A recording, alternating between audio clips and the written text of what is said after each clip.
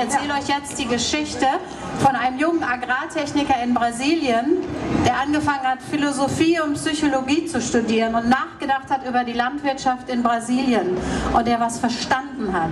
Der ist mit einem Stipendium von Brot für die Welt nach Deutschland gekommen, hat an der Uni Osnabrück promoviert und inzwischen ist er Präsident, äh, Professor an der Agraruniversität, an der Bundesuniversität Frontera do Sul und er hat wie kein anderer in Brasilien und in Europa, überall in Europa, vor den Folgen der Gentechnik gewarnt. Für die Felder, für die Biodiversität, aber auch für die Bäuerinnen und Bauern in Brasilien, die verdrängt werden von Feldern, die 20.000 Hektar groß sind, auf denen nichts wächst als Gensoja.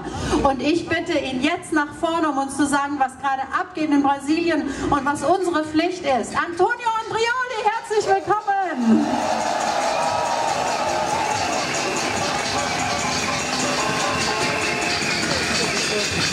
Liebe Freundinnen und Freunde, ich muss mich sehr bedanken, dass ich hier so schön nett empfangen werde mit der Fahne der MSD aus Brasilien. Liebe Dieter, liebe Uwe, liebe Martina und alle, die dazu sind, wir treffen uns hier am Donnerstag in Hamm. Ne? Ich bin etwas hier, um so etwas wie eine Hoffnungsimpfung zu bekommen. Ne? Ich brauche das.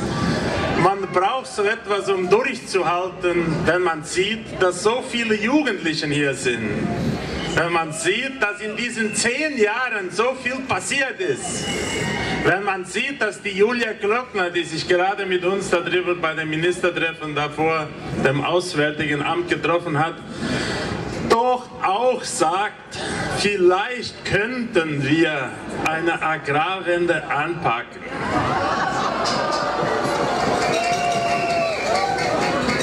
Ich sagte vor 15 Jahren dem Gerhard Schröder, Regierungen in Brasilien sind so wie einen Bohnentopf. Man muss richtig von unten aufheizen. Das ist, was hier stattfindet und deswegen sage ich das mit der Hoffnung, also mit der Hoffnungsimpfe, dass man nicht zum Unmut, zur Indifferenz resigniert. Wir müssen durchhalten, es sind so viele Leute, die sich jetzt für den Klimaschutz einsetzen, die eine andere Landwirtschaft wollen, die wahren Lebensmittel wollen. Und deshalb bin ich hier zu sagen, wir können jetzt was ganz Konkretes machen, das hat ich der Ministerin gesagt. Wir müssen dieses EU-Mercosur-Abkommen ablehnen. Wir müssen das stoppen. Und warum? Zunächst, man mit so einer Regierung die Menschenrechte und Umweltschutz und Klimaschutz mit den Füßen tritt. Mit so einer darf man überhaupt kein Freihandelsabkommen abschließen. Zweitens, brauchen wir überhaupt noch mehr Autos? Brauchen wir überhaupt noch mehr Pestizide in Brasilien? Das steht da drin. Als ob es nicht reichen würde, dass der Minister Gerd Müller schon in Brasilien im September war und er hat es vor Ort gesehen, wie im Amazonas gebrannt wird. Und das ist von Menschen gemacht. Das ist von Großgrundbesitzer gemacht, damit man dort weiter Land gewinnen kann. Und wozu? Damit man mehr Ethanol produzieren kann aus Zuckerrohr. Ist bitte nicht nachhaltig, denn beim Zuckerrohr haben wir eine der größten Einsätze von Pestiziden in Brasilien. Es sind im letzten Jahr zwei Millionen Menschen an Pestiziden vergiftet worden, darunter 500 Babys, also Kinder mit bis 12 Jahren. Jede zweieinhalb Tag stirbt ein Mensch in Brasilien an Vergiftungen von Pestiziden, die hier in Leverkusen und Ludwigshafen produziert werden und die hier verboten sind. Also, wir brauchen nicht mehr Pestizide in Brasilien, bitte. Wir brauchen auch kein Milchpulver. Wir brauchen kein Käse aus Deutschland, aus Italien, aus Europa, die dann, weil hier zu viel produziert wird, unsere Milchproduktion vor Ort zerstört. Das ist das Problem.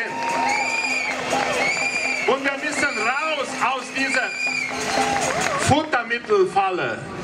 Wir brauchen nicht mehr Soja. Wir müssen weniger Soja produzieren. Wir haben schon eine Fläche so groß wie die Bundesrepublik Deutschland.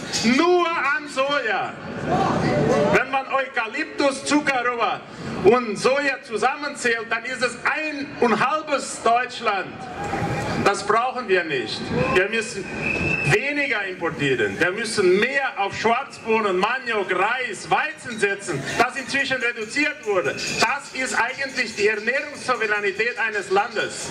Ich freue mich sehr, dass hier das Bewusstsein so gestärkt wurde und dass man hier von so einer Bewegung wieder zurückgehen kann und sagen kann, es gibt Menschen auf der Welt, die sich vereinen. Es gibt Menschen auf der Welt, die davon ausgehen, dass man sich nicht gegeneinander jetzt aufhetzen sollte mit so einem Abkommen. Im Gegenteil, auf beiden Seiten des Atlantiks werden die Bauern, die Konsumenten und die Natur nichts davon haben. Ich habe inzwischen verstanden, dass dieses Abkommen, das die meisten noch nicht mal lesen konnten, weil es ja immer noch geheim verhandelt wird, das wurde von großen Agrarkonzernen geschrieben und für Konzernen geschrieben. Und Regierungen werden zugunsten dieser großen Interessen versuchen, es durchzusetzen und dagegen müssen wir widerstehen. Vielen Dank. Wir machen weiter weiter. Wir haben Hoffnung. Wir werden nicht aufgeben. Weiter so.